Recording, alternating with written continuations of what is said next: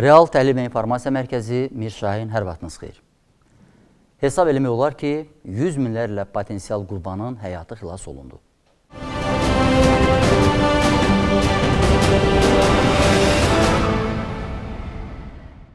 Prezident İlham Əliyev şahmat dili ilə desək, Ağdamla başlayır və qalib gəlir. Növbəti dəfə Əliyevin soyuqqanlı, səbirli, amma israrlı xətti Ermənistana məcbur elədi ki, ilkin olaraq təxminən 100 minə yaxın minanın yerləşdiyi ərazilərin xəritəsini Azərbaycana təqdim eləsin. Bu hadisəni Ağdamın bir güllə atılmadan ikinci dəfə azad edilməsi hesab eləmək olar. Saxlanılan 15 nəfər erməni Azərbaycan-Gürcüstan sərhədində Gürcüstan nümayəndələrinin iştirakı ilə Ermənistana təhvil verilib. Bu humanitar aksiyanın həyata keçirilməsində Gürcüstanın baş naziri İrakli Qaribaşvili başda olmaqla Gürcüstan hökumətinin dəstəyini təqdir edirik. Eyni zamanda prosesə verdikləri töhfəyə görə ABŞ dövlət katibi Antony Blinken başda olmaqla dövlət katibinin Avropa və Avrasiya məsələləri üzrə köməkçisi vəzifəsini icra edən Filip Rikerin, Avropa İttifaqı Şurasının prezidenti Charles Michelin və ATƏT-in İsveç sədrliyinin vasitəçilik rolunu xüsusilə qeyd edirik. Mina xəritələrinin əldə edilməsi on minlərlə vətəndaşımızın, o cümlədən mina təmizləyənlərin həyatını və sağlamlığını təhlükədən xilas edəcək və Azərbaycan Respublikasının prezidenti cənab İlham Əliyev tərəfindən Ağdamda əsası qoyulan yenidən qurma layihələrini və məcburi köçkünlərinin qayıdışı prosesini sürətləndirəcəkdir. Bu İlham Əliyevin qeyd-şərtsiz qələbəsidir. Xüsusi qabardılası fakt budur ki, mina xəritələrinin Azərbaycana verilməsi Birləşmiş Ştatların Dövlət Departamenti və Avropa İttifaqının vasitəçilik missiyası nəticəsində baş tutub. Əliyev dürüstlüyünün həm daxilə, həm daxilə səmimiyyətinin faydasını gördüyü kimi, Paşinyan da səriştəsizliyinin, veçsizliyinin, amma daha çox satqınlığının altına çəkir. Bir müddət əvvəl Rusiya prezidentinin huzurunda baş nazir kimi gah əlini, gah çantasını unudan Paşinyan, baş nazir əvəzi tək bu dəfə lap özünü unudub. Məsələn, Vaşinqton və Brüsseldən xahiş edib ki, əsirlərin qaytarılması üçün Bakı-İrəvan danışıqlarında vasitəçi olsunlar. Haqqın az yazır ki, Paşinyanın xahişini Azərbaycanın siyasi rəhbərliyinə məhz Birləşmiş Ştatların Dövlət Departamentinin nümayəndəsi çatdırıb. Redaksiyada əmin idilər ki, Bakıda erməni hakimiyyətin bu metamorfozasından əlbəttə təəccüblənirlər. Amma Paşinyanın Amerika Birləşmiş Ştatları vasitəsilə elan etdiyi mina xəritələrini təqdim etmək arzusuna da qarşı çıxmırlar. Enullah Fətullayevin saytının qənaətinə görə Bakı beynəlxalq gərginliyi və müasir geopolitikanın bir çox əsas məsələlərində Rusiya və Amerika Birləşmiş Ştatları arasındakı ziyyətləri nəzərə alaraq üç tərəfli razılaşmanın vasitəçisi və qarantını erməni hakimiyyətinin təşəbbüsündən xəbərdar eləyir və məsələ həll olunur. Ağdam əhatə edən mina xəritəsi əldə edilir. 15 dənə erməni qaytarmaqla gələcəyin 10 minlərlə insanı xilas edilir. Xilas təmizləmə missiyası davam etməkdədir. Deməli, Ağdamın başına ürəklə, lap elə mina dağı kimi dolana biləcəyik. Mina dağı kimi yox. Mina xəritələrinin davamı da olmalıdır. Biz Paşinyanın Rusiyanı satmasının nəticələrindən maksimum bəhrələnməliyik. Onu da qeyd edeyim ki, Paşinyanın Bakıya Amerika Birləşmiş Ştatları vasitəsilə iltimasda bulunması versiyası əvvəl yalnız Haqqın Azın fərziyyəsi idi. Amma sonra Paşinyan mitinqdə çıxışı zamanı şəxsən təsdiqlədi ki, həqiqətən də Amerika Birləşmiş Ştatları dövlət katibinin köməkçisi Filip Riker əsrlər məsələsində irəliləyişə nail olmaq barədə Anthony Blinkenin tapşırığını çatdırıb. Bununla da Eynullah Fətullayevin versiyasını Paşinyan şəxsən təsdiqləmiş oldu. Məntiqlə də hər şey yerinə oturur. Hələ buna qədər də bir neçə dəfə Ermənistan baş naziri regiona qərb dövlətlərinin dəvət olunmasını, müharibə sonrası proseslərdə bu qütbün fəal iştirakını rica etmişdi. Paşinyan əl üstə kimin əli oyununun qaydalarını bilməmiş deyildi və onun hesabı ilə burada ən son əl Rusiya olmamalı idi. Hə, burada çox mühüm bir nüans da var. Bakı yalnız o 15 dənə erməni təhvil verməyə razılaşıb ki, Qarabağda hərbi cinayət törətməyə macal tapmamışdı yəni bizimkilər onları ərazimizdə hər hansı təxribat və ya terror hadisəsi törətməyə imkan vermədən götürmüşdülər. Və bu arada baş verən başqa bir hadisəyə də qaydaq. Ermənistan Avropa İnsan Hüquqları Məhkəməsinə müraciətlə Azərbaycandan 11 vətəndaşının dərhal sərbəst buraxılmasını tələb eləmişdi. İnsan Hüquqları Məhkəməsi isə bu tələbi rədd eləmişdi. Azərbaycan hökuməti Avropa İnsan Hüquqları Məhkəməsinin bu qərarını alqışlamışdı. Deməli, Azərbaycanı adətən ölkəmizə qarşı qərəzli qərarları ilə seçilən bu qurum belə müdafiə eləməyə məcbur olmuşdu. Ermənistan isə qısa qapanmalarla, başı ayağı naməlum sınıq xətlərlə zəngin kursu ilə sabit qədəm bir dövlət olmadığını hər dəfə nümayiş etdirməkdədir. Məsələn, son hadisəyə qədər də Ermənistanın bir gün NATO-ya, bir gün Fransa prezidentinin əlaşması nümayiş etdirmişdi ki, ermənilər öz tarixi xasiyyətinə, öz genetik təbiətinə, satqınlıqlarına sədaqətlidirlər. Rusiyada bir sıra müşahidəçilər açıq şəkildə bəyan edirlər ki, Ermənistan Rusiyanı hər gün daha çox satır. Və onun bu yaxınlarda Ermənistan-Azərbaycan sərhədinə dəvət etdiyi dövlətlər, qütblər Ermənistanın əbədi hamilərinin rusların maraqlarında deyil. Kremlin rəqibləri, hətta düşmənidir və buna görə də rusların xoşuna bu addımlar gəlmir. Lap elə tutaq ki, Amerika Birləşmiş Ştatlarını, Avropa İttifaqına üzv olan dövlətləri bölgəyə Paşinyan dəvət eləmişdi. Bəs nəticəsi nə oldu? Nəticə o oldu ki, mina xəritələrini Azərbaycana verməyə Paşinyan məhz Dövlət Departamenti Avropa İttifaqı vasitəsilə məcbur oldu. Bugün Ermənistan özünün ən ağır vaxtlarını yaşayır. Qarşıdan parlament seçkiləri gəlir. Erməni seçicinin öz gələcəyini seçmək şansı yoxdur. Ona görə ki, bir tərəfdə məğlub Paşinyanın rəhbərlik etdiyi bu gün var, bir tərəfdə terrorla, parlament güllə baranı ilə, korrupsiya ilə, bir sözlə bütün dövlət və müharibə cinayətləri ilə zəngin keçmiş var ki, onun da təmsilçisi Koçaryandır. Gələcək isə yoxdur. Erməni xalqı bir neçə pisdən birini, daha doğrusu iki ən pisdən birini seçmək məcburiyyətində qalıb. Balalarının nəşrini alanda sevinən sadə erməni üçün bu saat Qarabağ sadəcə gedər gəlməzdi. Ermənidən ötürü Qarabağ müqəddəslik yükü daşımır. Erməni insan Azərbaycan tərəfə bundan sonra yalnız kör bucaq altında baxmalı olacaq. Ağlamaqdan kör olmuş bucaq altında. Burada bir müqayisəmdə olacaq. Ermənistanın geri qaytardığı və xalqa verdiyi özünə məxsus hesabatın tonu fonunda.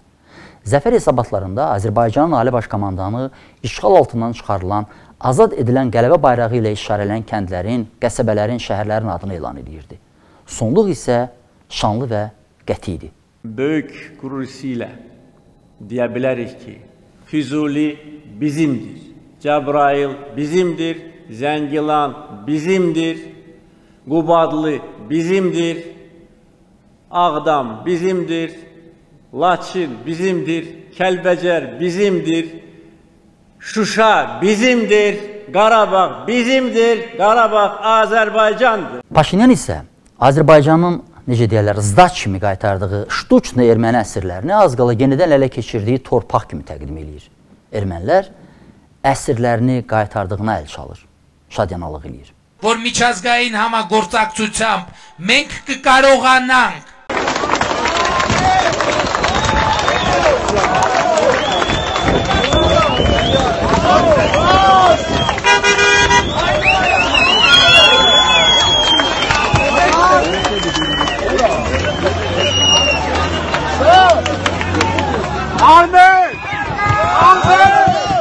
Və bütün bu proseslər Azərbaycanın diktəsi, Azərbaycanın təzyiq altında cəryan edir. Yəni Bakı həm beynəlxalq qanunlara, həm yerli qanunlara uyğun davranır. Yaponlarda bir söz var. İmperator vurmaqla gücünü, bağışlamaqla mərhəmətini göstərir. Bax bu gün Azərbaycan rəqibi ilə məhz imperator sayağı rəftar edir. Erməni hərbçilər Mkıtıçyan və Xasrovyan insanlığa və sülhə qarşı cinayət törətdiyinə görə 1-ci Qarabağ müharibəsi zamanı əsir götürülmüş Azərbaycanlılara qarşı amansız işgəncələr verməkdə ittiham olunaraq Yasamal rayon məhkəməsində mühakimə olunur. Hörmətli tamaşaçılar, biz bəzən sözləri, cümlələri cansızlaşana qədər çeynədiyimizdən onların əslində hansı mənanı daşıdığına fikir vermirik. Gəlin yadımıza salaq. Neçə dəfə, neçə min dəfə demişik, Ermənistan bir gün buna görə cavab verəcək. Qanun qarşısında cavab verəcəyiniz günə çox qalmayıb. O gün olacaq ki, tarix qarşısında cavab verəcəklər və o gün gələcək. Yəqin sayını itirmişik, hə?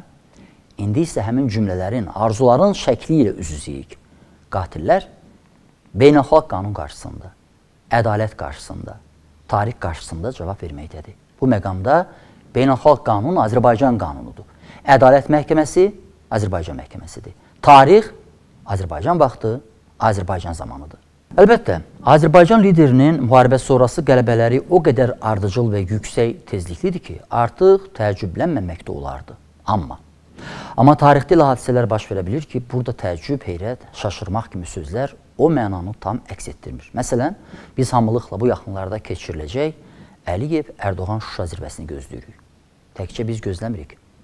Şuşa zirvəsi zamanın bütün ucqarlarından görünə biləcək bir yüksəklik olacaq. Şuşa'da bir iki ülke olarak aramızda bir sözleşmeyi imzalayacağız ve bu Türkiye Azerbaycan arasında kapsamlı bir sözleşme olacak.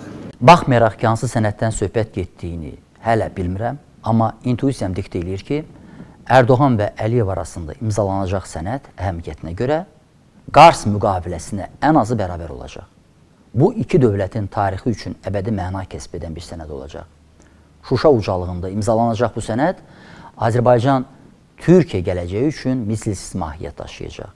Bir millət, iki dövlətin tək iradəsinin əbədi əqidi tək, əqidəsi tək. Hadisələri yanaşı qoyub tutuşturmaq mənim bir təhlilçi, araşdırmaçı kimi xüsusi məziyyətimdir. Necə deyərlər, sevirəm də bu işi. Bu saat tarixinin ən böyük uğurlarını qazanmaqda olan xalqımız gərəkdir ki, dövlətimiz və millətimizin əbədiliyinə işləyən Əliyevlər zamanını, Əliyevlər gerçəyini ona qədər ki, çağların və reallıqların fonunda görməyi, təsəvvür etməyi bacarsın.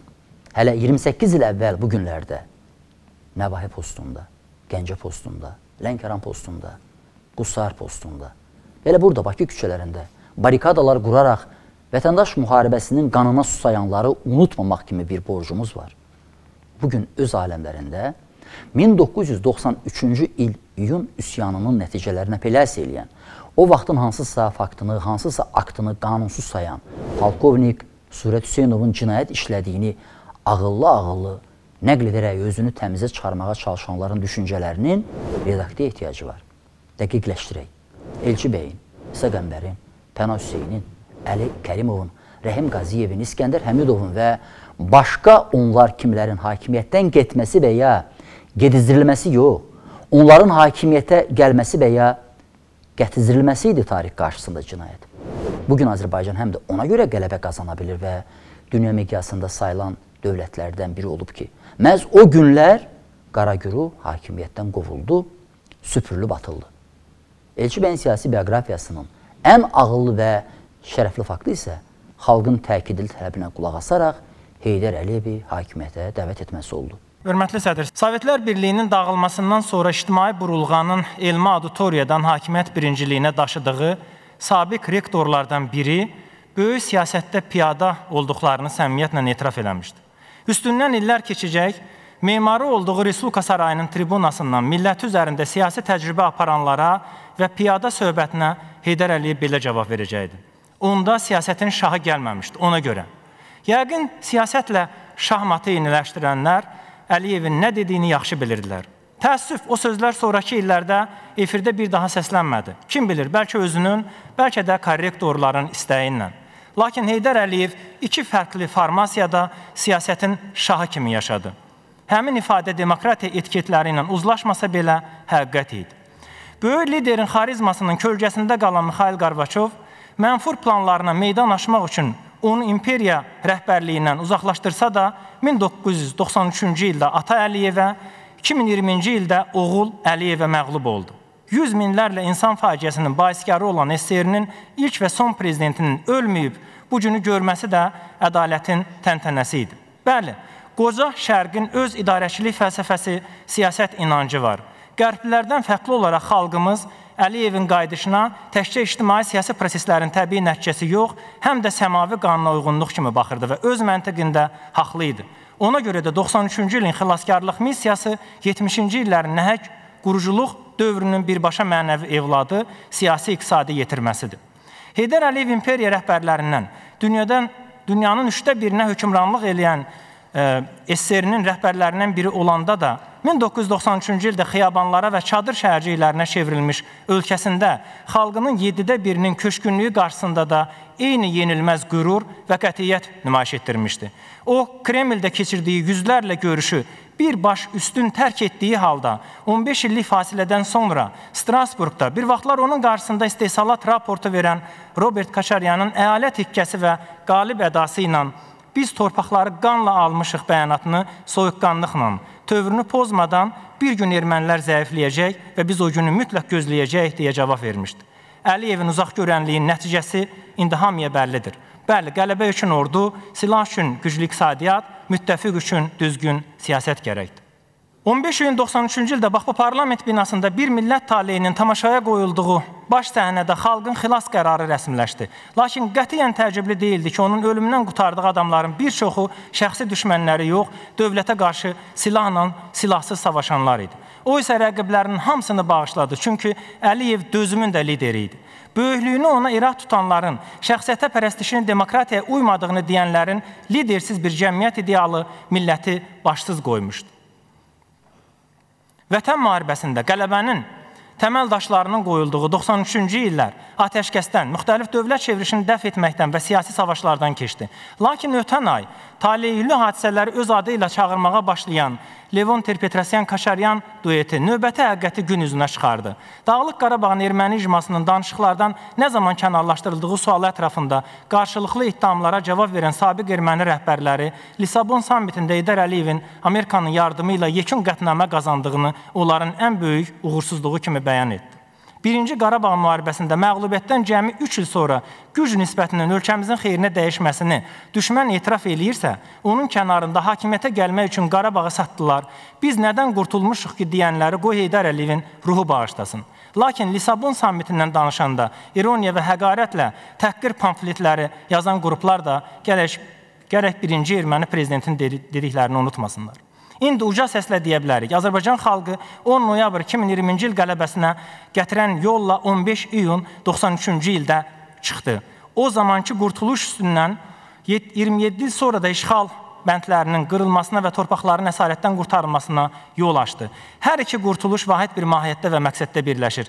Qarabağda Heydər Əliyev siyasi kursu qalib gəldi. 15 iyun qurtuluşu həm də vətən müharibəsində qələbəmizin birinci günüdür. O günlərin, o illərin əhval-ruhiyyəsini mən ən kiçik detalına dək xatırlayıram. AXC Müsavat cütlüyünün hələ milli ordudan qabaq yaratmağa başladığı özünü müdafiə batalyonları siyasi rəhbərliklərinin təsiri altında olduqlarından Onların əmri ilə xüsusi məqamlarda geri çəkilir, mövqeləri tərk edirdilər. Təbii ki, sıravi heyətin bunda günahı yox idi. Ona görə ki, onlara bu dislokasiya, yer dəyişmə faktı kimi izah edilirdi. Siyasi hədəflər uğrunda mübarizə aparan rəhbərlər isə onlara lazım olan döyüşçülərini Bakıya çağırırdılar. 1992-ci ilin mayında Şuşanın və Laçının müdafiəsindən, 1993-cü ilin fevralında Kəlbəcərin, daha sonralar Ağdamın, Füzulinin, Qubatlının və başqa rayonların müdafiəsindən öz batalyonlarını geri çəkən özəl hərbi obyekt sahibləri bu barədə bir qayda olaraq susurlar. 1993-cü ildə itirilən rayonlar da məhz hərbi sabotajın, şuurlu itaətsizliyin qurbanı oldu. Bu şuarı isə yəqin ki, o dövrün bütün şahidləri yaxşı xatırlayır. Qarabağın taleyi Bakıda həll olunur. 1992-ci ilin martında bu sözü deyənlər həmin şuarı o ilin 15 mayında da təkrar etmişdilər. Sonra bu şuar 1993-cü ilin iyununda səsləndi. O zamanlar xalqın nifrəti Qarabağ separatçılarına, təcavüzkar Ermənistana yox, Bakıya, Azərbaycan rəhbərliyinə, qanuni hakimiyyətə yönəldilirdi. 2020-ci ildə nifrət düşmənə yönəldiyindən Azərbaycan qalib gəldi. 1989-cu ildən başlayaraq ildə bir dəfə hakimiyyət dəyişən Azərbaycan var idi. Sabit hakimiyyət yalnız 1993-cü ilin oktyabr ayın 3-də Heydər Əliyevin hakimiyyətə gəlməsi ilə, prezident seçilməsi ilə bərqərar oldu. Hərbçilərin siyasi qaynama zamanlarında hakimiyyəti devirmək, çevirmək, aşırmaq üçün Bakıya gətirilmə və ya Bakıda dövlətə qarşı istifadə praktikasını kim də unutsa, mən unutmayacağam. Bağışlayın məni, amma sizin də yadınızdan çıxmağı qoymayacağam. Deyirəm keçilənləri təkrar edək bəlkə. 1992-ci ilin may ayı Azərbaycan Xalq Cəbəsi kütlənin təkanı ilə çevriliş törədir Cəbhədən Bakıya çağırılmış hərbi qüvvələrin dəstəyi ilə.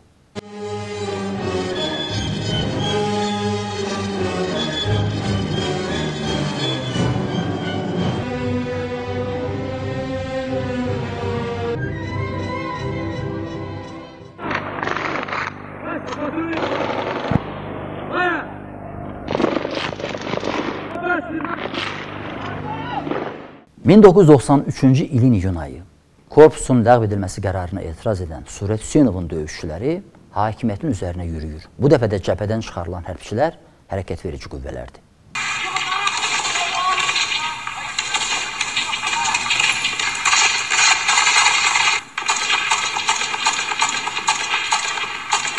...1994-cü ilin oktyabr ayı xüsusi təyinatlı polis dəstəsinin iştirakı ilə baş qaldıran silahlı basqın, baş prokurorun girov götürülməsi ilə nəticələnən aksiyada silahlı dəstələr iştirak edirlər. O cümlədən cəbhədən geri gətirilən xüsusi təyinatlılarla birgə.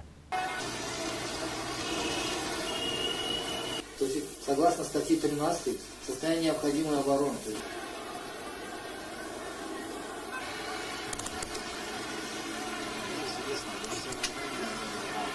1995-ci ilin mart ayı Daxili İşlər Nazirinin xüsusi təyinatlı dəstəni buraxmaq əmrini etirazla qarşılayan polis əməkdaşlarının iştirakı ilə başlanan silahlı müqavimət.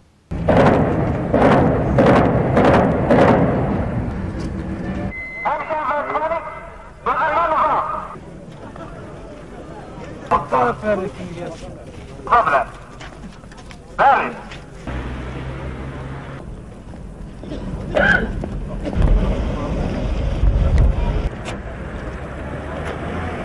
1999-cu il yanvar ayının 7-sində son belə cəhd oldu. Qobustanda həbsxanada qiyam təşkil etməyə cəhd göstərən qüvvələrin başında keçmiş polis zabiti Faiq Bəxşəliyev və general Vahid Musayev dayanırdı.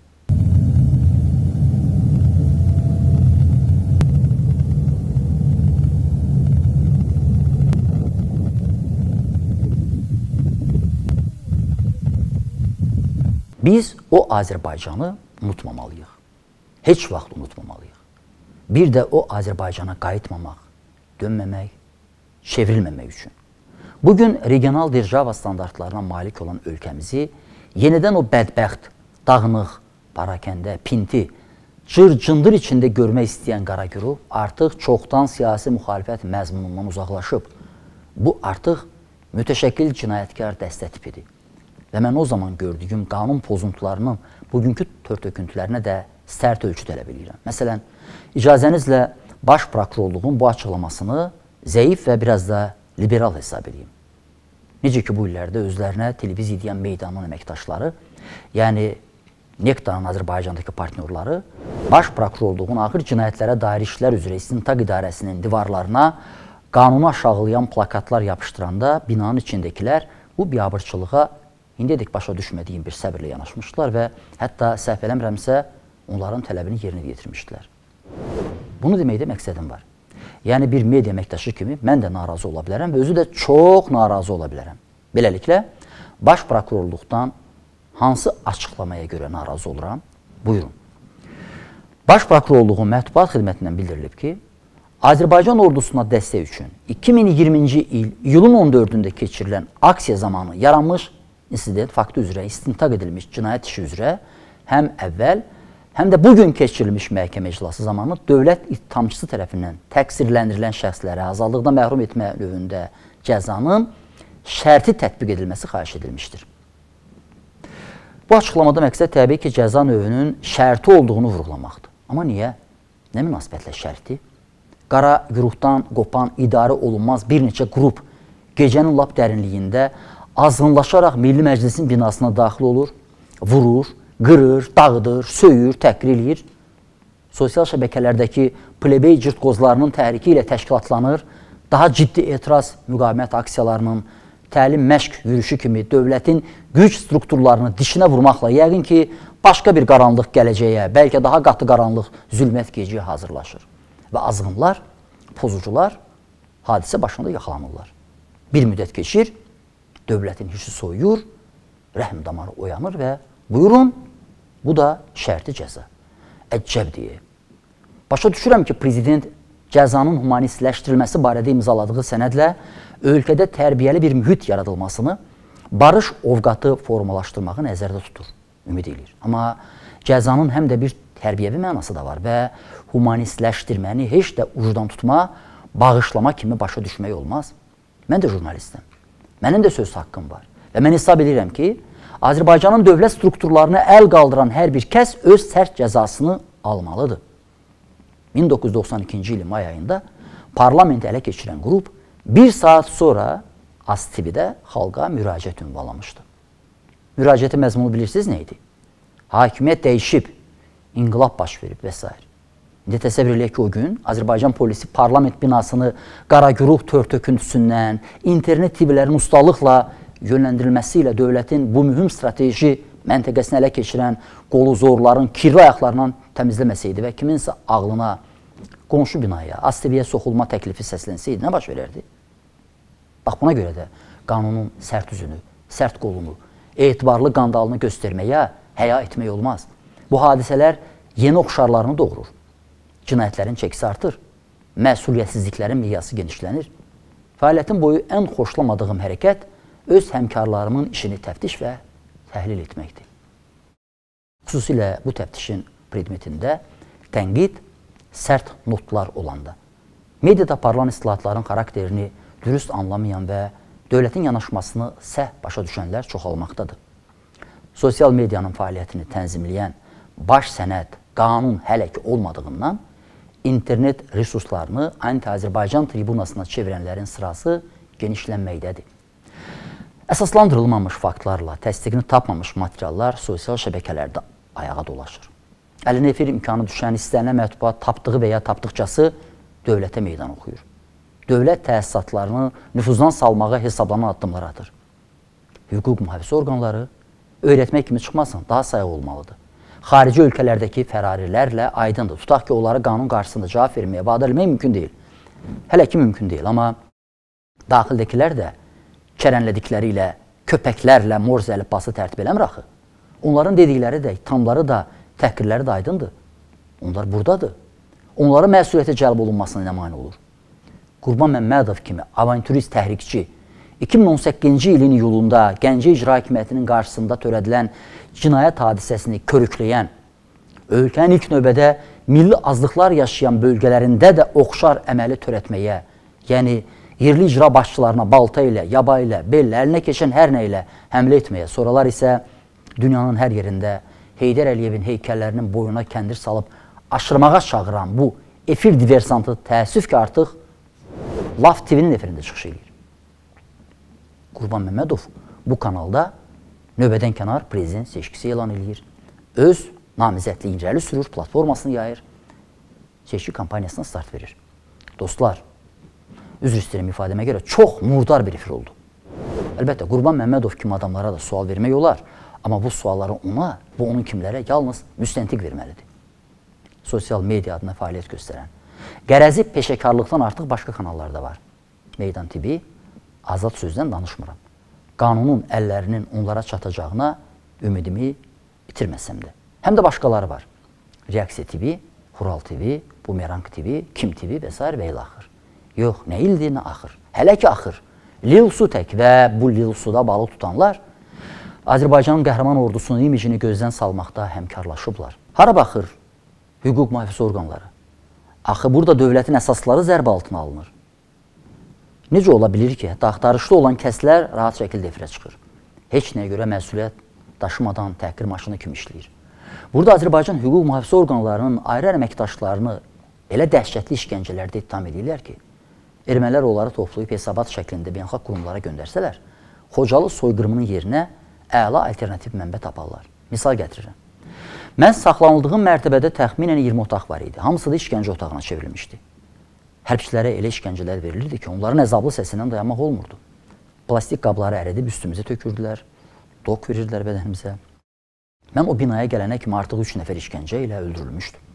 Statın sonu. Özü də burada müəllif kimi müsəlman dövləti Azərbaycan adının keçəcəyindən effekt min dəfə artıq olacaq. Bu iftiraları, bu məlumatları tirajlanların başı haradək çatır?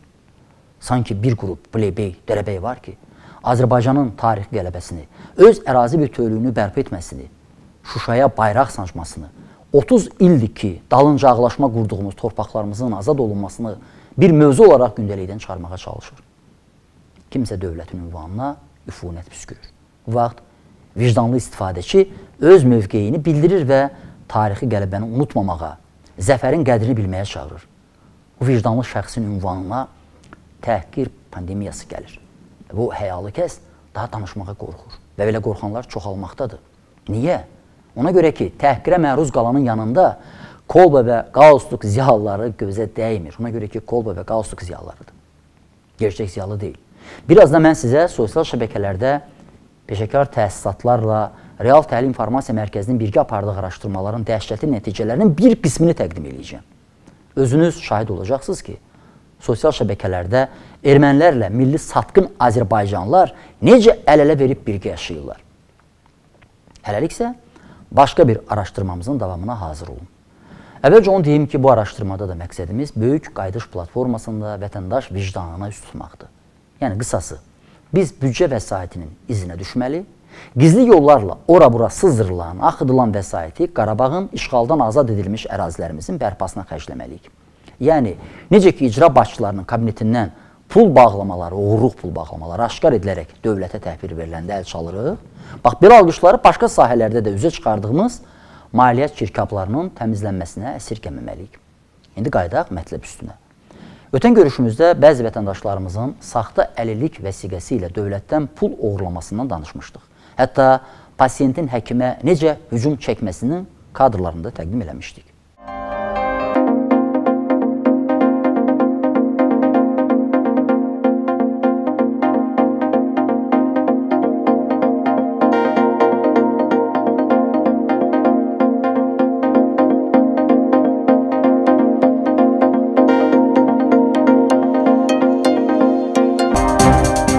Bu araşdırmada bir məqsədimiz pasiyentin xuliqanlığını, son zamanlar özünü daha çox Mədəniyyət Nazirliyinin əməkdaşları kimi aparan hörmətli hüquq mühafizə orqanları əməkdaşlarımızın nəzərinə çatdırmaq idisə, ikinci niyyətimiz saxta əlillik vəsiqəsi verənlərin cəzalandırılması zərurətini qabartmaq idi. Və başlıca məramımız da budur. Şərəfli qazi adı, müqəddəs şəhid və şəhadət institutu uca tutulsun. Bu adlara kimsə ləkə salmasın. İndi sizə təqdim edəcəyimiz müsahibə bir daha təsdiq edir ki, qazilərimizin adından sui istifadə edənlər var. Məhəmməd Əli Hacıyev, yəqin yaxşı xatırlayırsınız. Müxtəlif skandallarda adı keçən, bir müddət əvvəl özünə od vurub yandırmağa cəhd göstərən, əlil yoldaşları tərəfindən amansızlıqla döyülən bu şəxs xəstəxanada indi müalicə alır. Biz onunla elə xəstəxanada görüşdük. Düşünürəm ki, hər bir tamaşaçı xüsusilə hüquq mühafizə orqanları üçün maraqlı məlumatlar verdi. Mən səni e, Binəqədidə əlillərlə e, polis əməkdaşları və SOCAR əməkdaşları arasında olan qarşıdurmada görmüşdüm.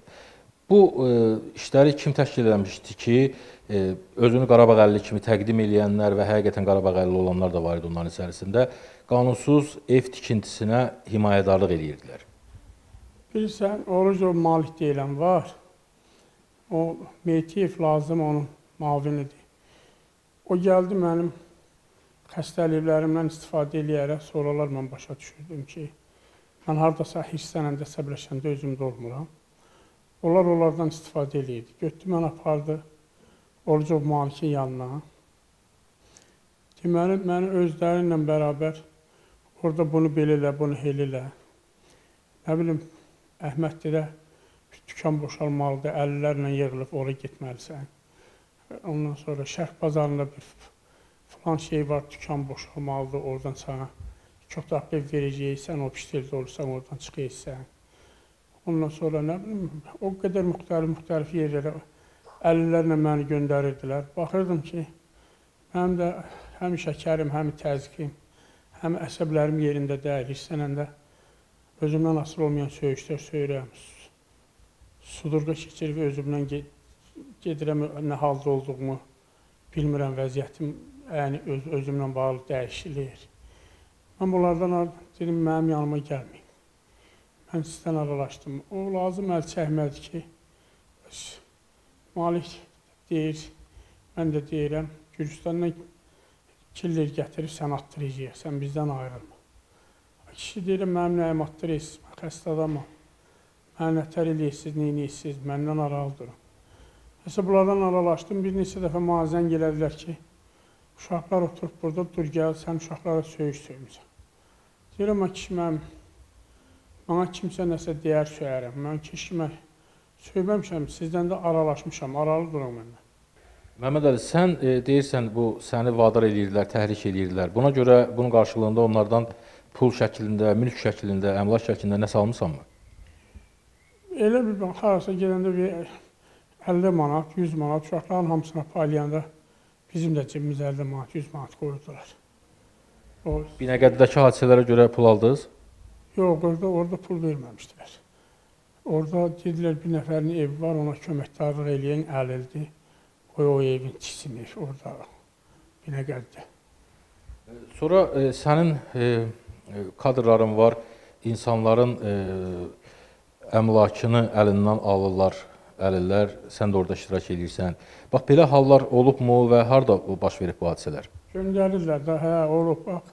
Əhmədliyə göndəriblər. Çağırırlar, bax getmədən də görsən mən nə günə qoydular. Elə bir 9-da deyirlərsə gələk 8-də gedir orada olasan.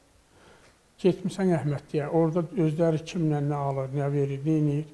Əllər ora töküləndə biz, mən də onların içində tökürlər ora. Moskva univermağında bir əlilin e, mağazasının əlindən alınmasına cəhd olub. Siz orada iştirak eləmisiniz? Mənim də ora malik göndərmişdi. Hətta demişdi, şillə ilə vur, söy. Ha, ha, ha, çox yerləri yadımdan çıx, çox yerlərə göndəriblər. Qanunsuz ev tikintisi ilə bağlı himayədarlıq məsələsində haralarda iştirak eləmisiniz? Mən qanunsuz ev tikinti ilə bağlı mən o çox yerlərə getməmişəm o. Amma birdən o Biləcərdə bir deyirlər orada bir nəfər ev tikiləcək, deyirlər orada kömək elə. Başqa qanunsuz yerlərdə mən elə yerlərdə iştirak eləməmişəm. Olub bəlkə də mənim daldan aparıblar, qayıdıb çıxış gəlmişəm. Əsas onların özləri çox yerə gedirdi, mən çox getmirdim. Sosial şəbəkələrdə məlumat yayılıb ki, sən meyvə satmaqla dolanırsan, amma e, məndə olan məlumata görə Biləcəri qəsəbəsində Kəlbəcər kafesi də sənə məxsusdur və bir müddət əvvəl orada karantin rejimi qaydalarının pozulmasına görə e, bir əməliyyat keçirilmişdi. Obsteldə yaşayırıq. Elə o vaxt biz 5-6 qardaşlıq ilə hamımız orada yığışdı oranı. Köməkli hamımız düzəltdik. Elə həmimiz evimiz kimi istifadə edirik. Obsteldə, su idarəsinin obstelində yaşayırıq. Üstündən yağan yağış içəri damır. Həm orada ev kimi istifadə edirdik, həm də karantin olmayanda da belə çayxana kimi uşaqlar çay zad da verirdi. Birdən də ev kimi istəyəndə gör, gəlib girdilər içəri ki, işlədirsiniz. Deyirik bu özümüzük, amma qeyri-qıraqdan da 5 nəfər, 3 nəfər dost tanış da gəlib. Qıraq açıq şəkildə otururdular, bax. Belə, elə sən deyən güclü şəkildə deyək belə olsun, yox. Səni bu qanunsuz əməllərə vadar eləyən o malik, e, digərləri, onlarla bağlı hüquq mühafizə orqanlarına müraciət eləmək fikrin varmı? Əlbəttə var, eləmişəm. Çünki məni orada o meşədə heylə döydürdülər. Mən vəkil tutdular. Elə şeylər var, yadımdan çıxmışım, mən çıxır vəkillər. Onu qeyd elədi. Məhəmmədəli Hacıyevin danışdıqları onun da vəziyyətini yaxşılaşdıra bilər. Mən burada onun tibbi halını nəzərdə tutmuram. Səmimiyyət adamı yüngülləşdirir. Elə vəziyyətinidir. Maraqlı və faydalı söhbətimizi davam etdirəcəyik. Məhəmmədəli isə təşəkkür edirəm. Amma eyni zamanda bir daha gerçək qazilərimizin də davranışına diqqətinizi istəyirəm. Bu insanların, fədakar Azərbaycan vətəndaşlarının xidmətlərini heç kim unuda bilməz. 44 günlük vətən müharibəsində onlar bu dövlətin necə uca dəyərə malik olduğunu sübut etdilər. Dövlət isə ilk növbədə qanunlardan ibarətdir.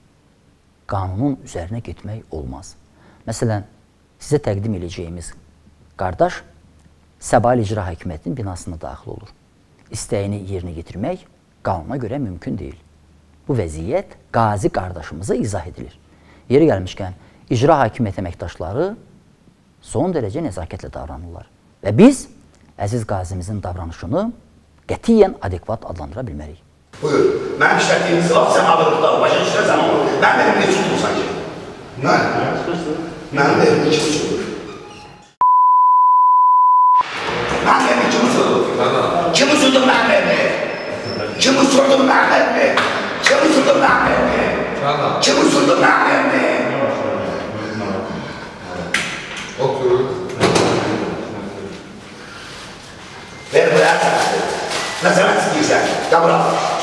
Kimdə o? Düz prezident aparatı davana yığışır bir 20 nəfərlə. 20 nəfərlə prezident aparatı davana yığışır.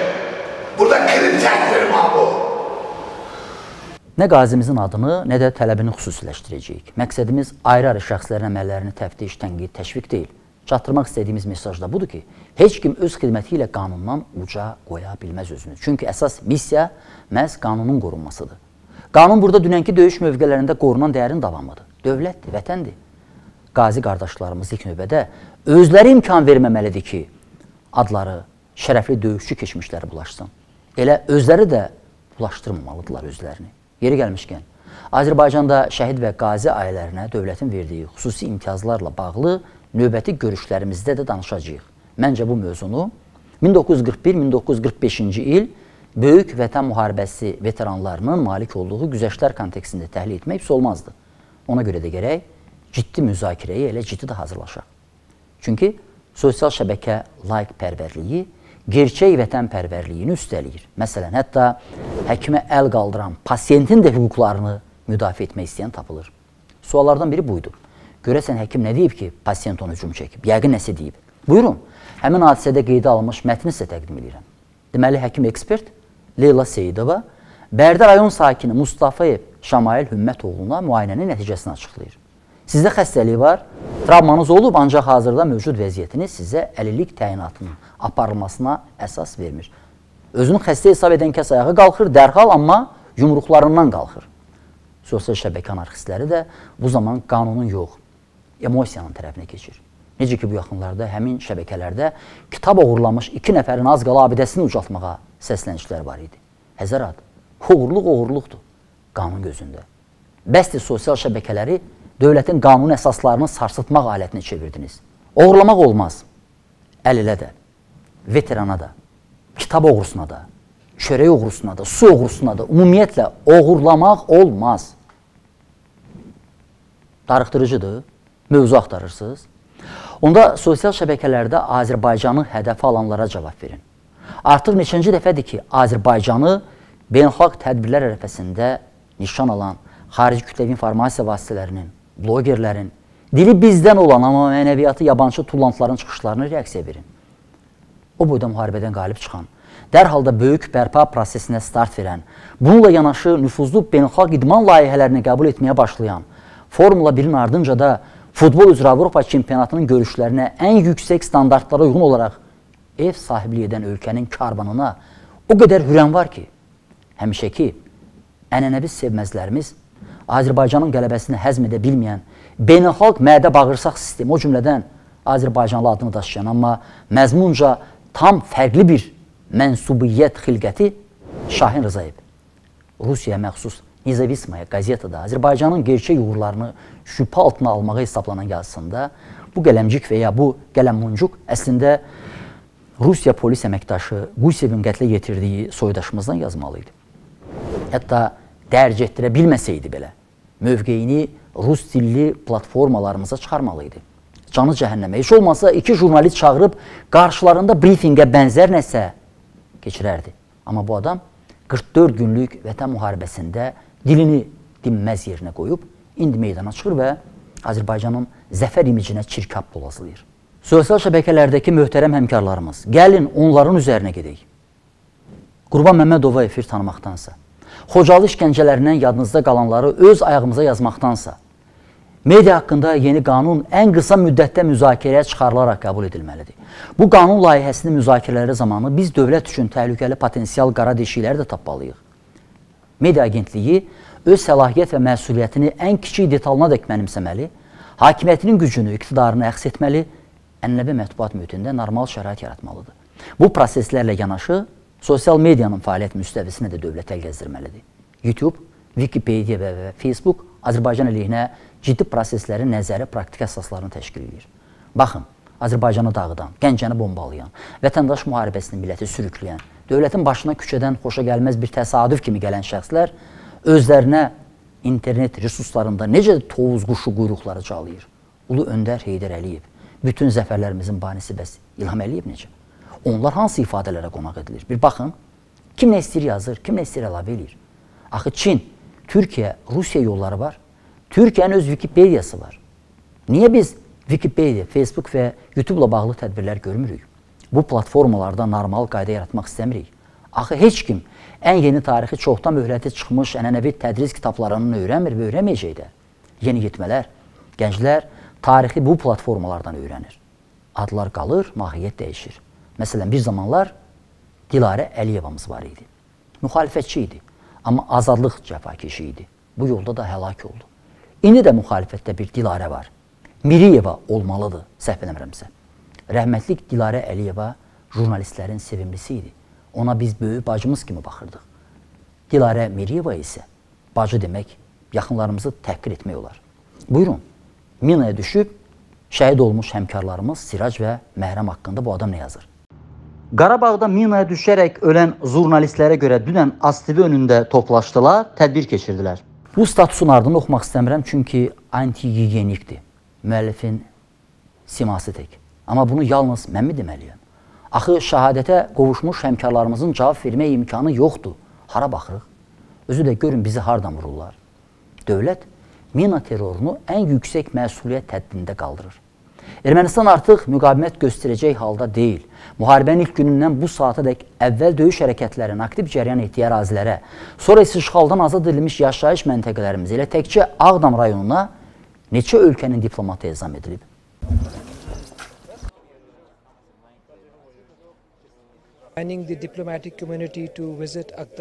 Mən diplomatik korpusa qoşulub Azərbaycanın tarixi şəhəri olan Ağdama səfər etmişəm.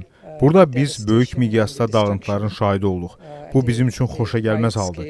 Buna yanaşı biz dünən müsbət bir irəliləyişin baş verməsi ilə ümidləndik. Ermənistan 97 min mina bastırılmış ərazinin xəritəsini Azərbaycana təqdim edib. Biz inanırıq ki, bu hal bu ərazinin minalardan təmizlənməsi və yenidən qurma işlərinin aparılması prosesini tezləşdirəcək. Biz həm də ona inanırıq ki, Ermənistan beynəlxalq öhdəliklərini qəbul edib, digər yerlərdə olan minaların xəritəsini də verəcək və bu, işğalın azad olmuş ərazilərin minalardan tam şəkildə təmizlənməsini, insanların öz ərazilərinə qayıtmasını və quruculuq işlərinin aparılmasına köməyi təmin edəcək. Biz inanırıq ki, bu hadisə iki dövlət arasında uzun müddətli danışıqların başlanğıcı olacaq. İki qonşu dövlət arasında münasibətlər müsbət həllə doğru gedəcək.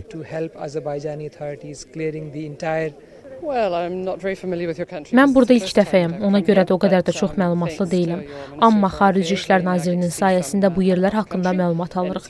Əlbəttə ki, istənilən bölgəni belə dağılmış vəziyyətdə görmək xoş deyil. Bu həqiqətən də kədərlidir. Знаете, во-первых, я уже здесь был несколько месяцев назад.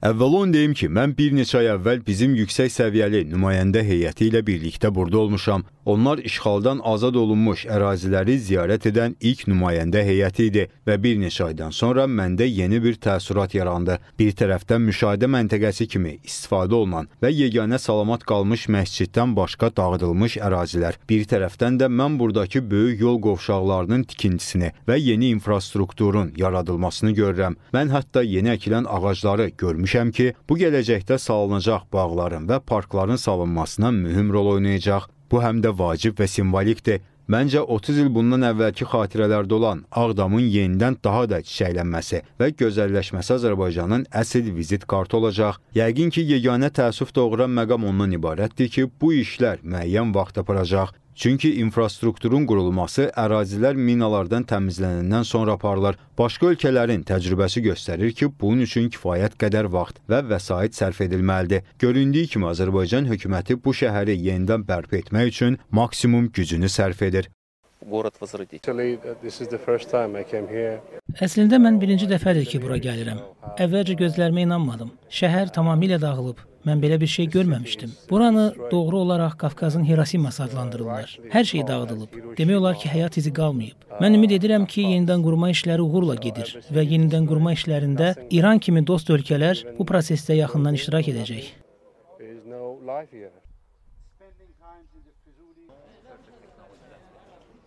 Bu ezamiyyətlər bir kütləvi informasiya vasitəsinin yaya biləcəyi məlumatlardan 10 dəfələrlə səmərəli olmaqla Azərbaycan prezidentinin böyük ustalıqla apardığı informasiya müharibəsinin tərkib hissəsidir. Hər yerdə də prioritet işğaldan azad edilmiş ərazilərimizin indi də minalardan azad edilməsidir. Uşaqlar o minalardan şəhid olublar. Dilarə Miriyevanın plebey beyni anlamır ki, danışıqları Kərimli Koçaryan cinahını ələ verir. Bədbəxt qadın və bu Hədyan müəllifinin üzərinə getməyən, onu doğulmasına peşman etməyən teleliberalları da anlamıram. Bu qədər də olmaz axı. Hörmətli tamaşaçılarımız, indi isə sosial şəbəkələrin təhlil nəticəsində əldə etdiyimiz məlumatların təqdimatına keçirəm. Məsələn, Fransada mühacir kimi yaşayan bloger rəsmində isə Azərbaycanın birmənalı düşməni olan Məhəmməd Mirzəli yazır. Bu fotoda təbliğatın necə nəticə verdiyini açıq şəkildə görürük. Rejim gənc, həssas bir uşağın beynini zəhərləyir, onu düşmənə qarşı nifrət və qəzəblə doldurur. Daha sonra isə Əliyev bu uşağı onunla heç bir əlaqəsi olmayan müharibədə döyüşmək üçün istifadə edəcək. Bunun uşağınızın başına gəlməsinə icazə verməyin.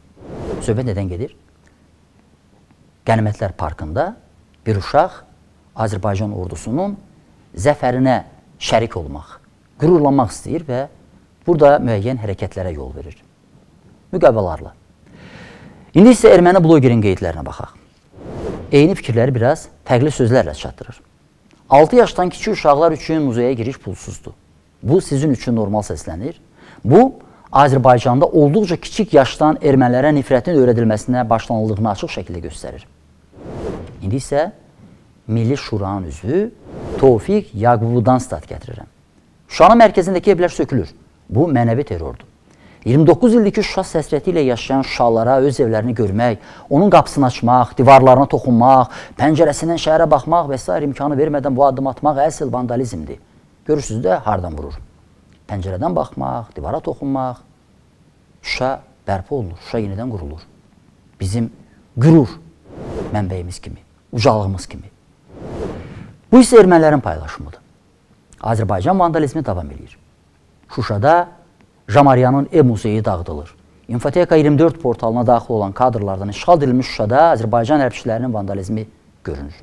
Azərbaycana qarşı düşmənçilik əməliyyatına cəlb olunmuş daha iki nəfərdən istal gətirəcəm. Bunlardan biri Reportyorların Azadlıq və Təhlükəsizlik İnstitutunun rəhbəri Emil Hüseynovdur. O yazır, Azərbaycan və Türkiyə rəsmiləri əksini sübuta getirənə qədər fəal Bayram Məmmədovun qətlində onlardan şübhələnirəm. Bu isə eyni fikirləri paylaşan erməni blogerdir. Azərbaycanda və Türkiyədə ayrı seçkilik yoxdur. Türkiyəni və Azərbaycanı tənqid edən, bu hökumətlərin əleyhinə danışan və hərəkət edən hər kəs ya həbs edilir, ya da öldürülür. Foto şəkildə ölü tapılan Azərbaycanlı qurban Bayram Məmmədovu görürsünüz. Vətəndaş və İnkişaf Partiyasının rəhbəri Əli Əliyev deyir. Biz erməni əhalisini Azərbaycan dövlətinin ədalətinə inandırmaq istəyiriksə, ilk növbədə özümüzdən başlamalıyıq, daxilimizdən başlamalıyıq. Biz Artunyanı necə inandıra bilərik ki, Azərbaycan demokratik dövləti? Söhbət o Artunyandan gedir ki, terrorçudur. Biz onu inandırmaq məcburiyyətində deyilik. İndi isə David Babayandan sitat gətirirəm. Bugün Azərbaycanda demokratiya klinik ölüm keçirir. Dağlıq Qarabağ nizamlanmasında başlıca tormuz məhz bu olacaq. Əli Əliyevin dediklərinin başqa şəkildə təkrarı. Məncə bu təhlil axşamı üçün bəsdir. Sözümün canı budur ki, siyasi narazılığı artıq anti-dövlət platformasına çevirənlər ermənilərlə anti-Azərbaycan düşərgəsində birləşiblər. Siyasi eybəcərliyin daşıyıcıları, yalnız təhqir və söyüş elektoratına güvənən tərbiyəsizlik korpusu, üfunətli qaragüruh idbarları, Koçəryan Kərəmli cinaxı daha öz niyyətini gizlətməyi vacib hesab eləmir. Özü ona görə yox ki, məsələn, Cəmil Əsənli bığının qıraqlarını qaydaya sala bilmir. Ya da Əli Kərimli. Adam prezident Əliyevə delimitasiya mövzusunda natasiya oxumağa həvəs göstərir, amma bu sözü tələffüz belə ilə bilmir. Elə demilitasiya deyib durur. Demilitasiya yox, Kərimov. Nəhayət tamamilə demilitasiya olub başa çatsın. Nəhayət tamamilə demilitasiya olub başa çatsın. Azərbaycan yeni qaydalar və qanunlarla yaşayır. Əksəriyyətinin də müəllifi özüdür. Qalib dövlətin, qalib ovqatı yeni təkan və inkişaf cəhdləri doğurur. Prezident bu həftə ölkəmizdə yeni təyin olunmuş qeyri-rezident səfirlərinin etimadnamələrini qəbul edərkən çoxlu maraqlı açıqlamalar verdi. Bu açıqlamalarda Azərbaycanın regional derjava kimi yeni ölçü və standartları bir daha təqdim edildi. Çıxışın bu yeri isə məncə xüsusi əhəmiyyətə malikdir. Lakin Ermənistan bizə bütün minaların, bastırdıqları bütün yüz minlərlə minaların xəritəsini verməlidir. Əgər onlar bunu etməsələr, bu bir daha bu ölkənin terrorçu xislətini nümayiş etdirəcək. Ərazini təmizləyəndən sonra bununla paralel olaraq biz şəhər və kəndlərimizin bərpasına və yenidən qurulmasına başlayacağıq. Bu böyük ərazidir. 10 min kvadrat kilometrdən çoxdur. Bu ərazi ordumuz tərəfindən, Dağlıq Qarabağ münaqişəsinə son qoymuş Azərbaycan, Rusiya prezidentlərinin və Ermənistanın baş nazirinin ötən il 10 noyabr tarixli birgə bəyanatı nəticəsində azad edilib. Ötən il noyabrın 10-unda imzalanmış bəyanat bəzi ölkələrin təqdim etmək istədiyi kimi sadəcə atəşkəs barədə bəyanat deyil. Bu atəşkəsdən daha böyük sənəddir. Çünki burada gələcəkdə hadisələrin necə inkişaf edəcəyi, necə davam edəcəyi açıq-aydın göstərilir. O kommunikasiyaların açılmasını təmin edir. Sülhməramlı əməliyyatları təmin edir. O regionda gələcək əməkdaşlığa dair bəyanatdır. Ona görə də bu bəzilərinin təqdim etmək istədiyi kimi atəşkəs sənədi deyil. Bu Azərbaycanla Ermənistan arasında sülh sazişi üçün bünövrədir. Əfsuslar olsun ki, bizim Ermənistanla sülh razılaşmamıza dair danışıqlara başlamağa hazır olmağımızla bağlı açıq bəyanatlarımız Ermənistan hökuməti tərəfindən cavablandırılmır. Bizim Ermənistanla dövlət sərhədinin delimitasiyası üzrə danışıqlara başlamaqla bağlı böyük beynəlxalq tərəflərin dəstəklədiyi təklifimizə də Ermənistan hökuməti məhəl qoymur. Biz bunu başa düşə bilmirik. Əgər Ermənistan sülh istəyirsə, bizim də sülh sazişinə ehtiyacımız var. Əgər Ermənistan müharibə istəyirsə, ötən ilin payızındakı eyni nəticəni əldə edəcək. Əgər Ermənistan sülh istəyirsə, onlar delimitasiya ilə bağlı bizimlə danışıqlara başlamalıdır. Əgər onlar bunu etməsələr, peşman olacaqlar. Beləliklə, biz Qafqazda yeni inkişaf mərhələsinə hazırıq. Biz sülhə hazırıq və biz bunu nümayiş etdiririk. Əminəm ki, Azərbaycana gələcək səfərləriniz zamanı görəcəksiniz ki, bizim sözlərimiz, bəyanatlarımız və imzamız eyni dəyərə malikdir. Bu sözlər deyiləndə hələ Ağdam ərazilərində yerləşdirilən minaların xəritəsi verilməmişdi. Amma İlham Əliyev artıq əmin idi ki, bu baş verəcək. İndi isə təklif edirəm, bu cümləni yadda saxlayaq. Əminəm ki, Azərbaycana gələcək səfərləriniz zamanı görəcəksiniz ki, bizim sözlərimiz, bəyanatlarımız və imzamız eyni dəyərə malikdir. Bu cümlədən əvvəl deyilmiş bir sıra fikirlər arasından mən bunları seçib xüsusi təqdim etmək istəyirəm. Əgər Ermənistan sülh istəyirsə, bizim də sülh sazişinə ehtiyacımız var. Əgər Ermənistan müharibə istəyirsə, ötən ilin payızındakı eyni nəticəni əldə edəcək. Əgər Ermənistan sülh istəyirsə, onlar delimitasiya ilə bağlı bizimlə danışıqlara başlamalıdır. Əgər onlar bunu etməsələr, peşman olacaqlar. Beləliklə, biz Qafqazda yeni inkişaf mərhələsinə hazırıq. Biz sülhə hazırıq və biz bunu nümayiş etdiririk. Əminəm ki, Azərbaycana gələcək səfərləriniz zamanı görəcəksiniz ki, bizim sözlərimiz, bəyanatlarımız və imzamız eyni dəyərə malikdir. Məncə burada da yekunlaşdıraq. Nöqtəni prezident qoydu. Qalanı böyük hərflə başlayacaq. Təzə sətirdən, dövlət və inkişaf adına. İrəlidə isə hələ çoxlu, uğurlu başlanğıclarımız olacaq. Salamat qalın.